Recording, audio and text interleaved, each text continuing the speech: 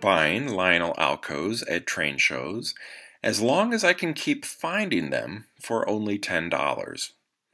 This is an Amtrak dummy unit from the 1970s that's still in pretty good shape.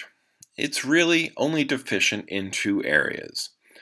The roof paint, which has just minor paint damage, and the stamped metal frame, which is having issues with a bit of rust.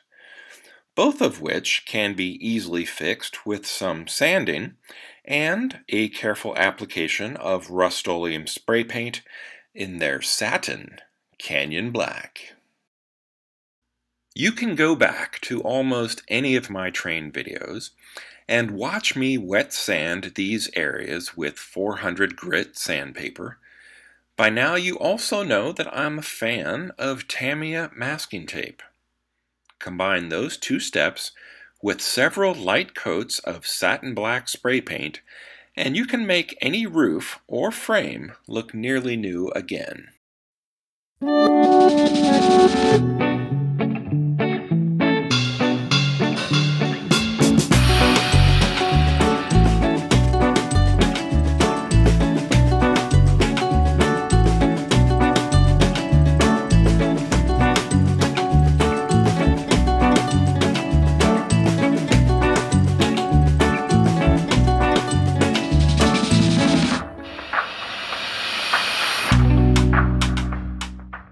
The frame sat in a vinegar bath overnight, and by the next morning, all the surface rust as well as the bluing were removed from the metal.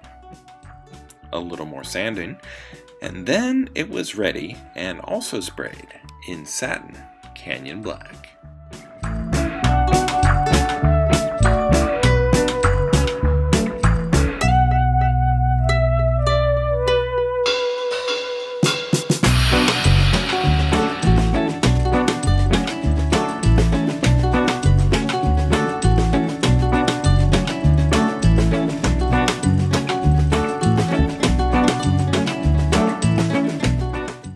Forgot to mention it earlier, but while I was at it with the spray paint, I also redid the rear coupler.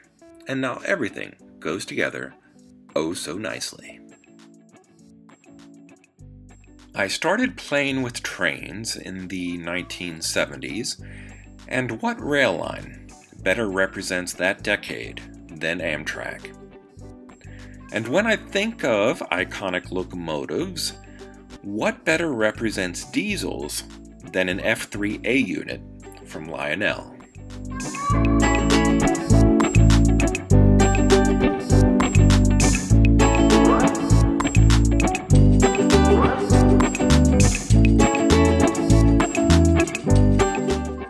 This is a die-cast frame, so it didn't have any issues with rust but it still benefited from sanding followed by the new coat of black paint.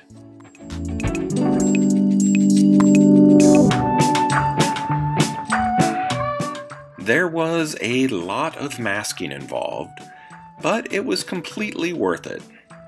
The side frames, front apron, and coupler all look fresh and new once again. But because of the tape, there's no overspray on the wheels or the axles, so it retains a factory appearance, which is what I was shooting for. And I like it a lot.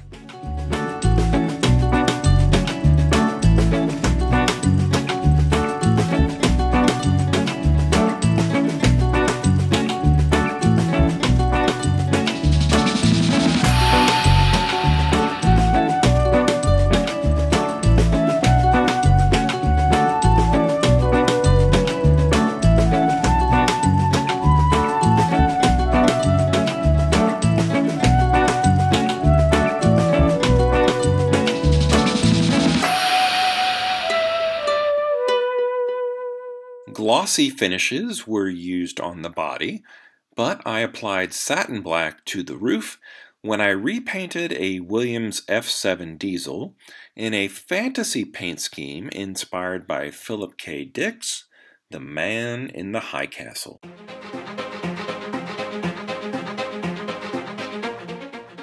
At this point, for any future projects, I'm pretty sure that all of my locomotives with a black roof will be done in a satin finish rather than a glossy black.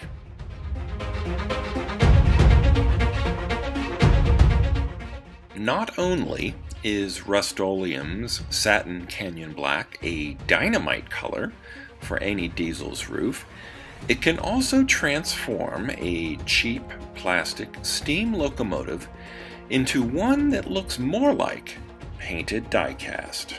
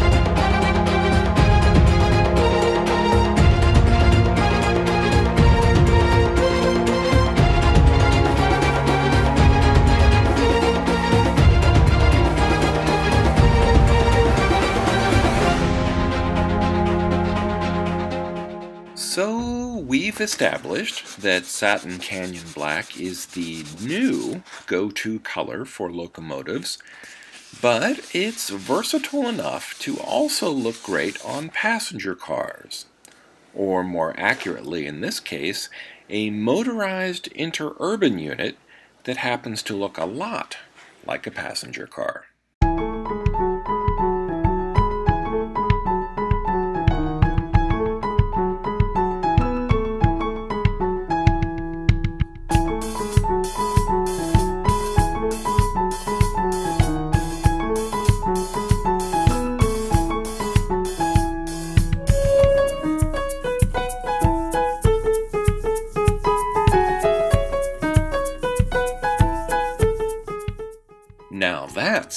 Nice looking roof. It's not perfect, but it's definitely an improvement. Will it affect the collectability or value of the train? Probably, but like most of the trains I've shared here, they were cheap to begin with. So who knows, maybe I actually increased their value.